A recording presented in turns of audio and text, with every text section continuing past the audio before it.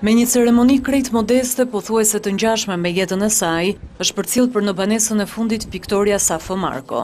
Bashkëshortja e shkrimtarit Petro Marko u nda nga jeta në moshën tetëdhjetë e shtatë vjeçare pas një sëmundje të rëndë. Në banesën e saj u mblodhën këtë të hënë pak familjarë e miq, asnjë lajmërim për vdekjen.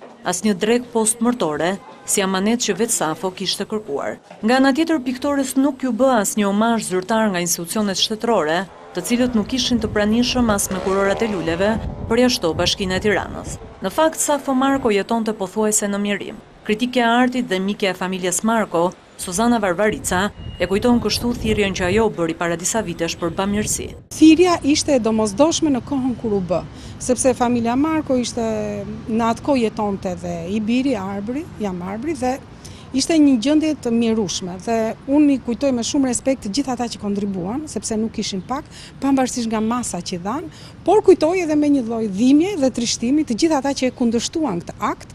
Por çfarë i dha Safo Marko artit shqiptar? Për Varvaricën më shumë se sa pikturat, të cilat janë edhe pjesë e koleksionit të Galerisë Kombëtare, Safo ishte ndër ilustratoret më të njohura në botimet letrare dhe ato akademike para viteve nëntëdhjetë. Ishte një nga ilustratoret më të mira të kohës së vet, ku të gjithë studentët që vinin më pas ose artistët e rinj që vinin më pas, merrnin një informim teknik dhe artistik tejet të domosdoshëm tek krimtaria e Safo Markos.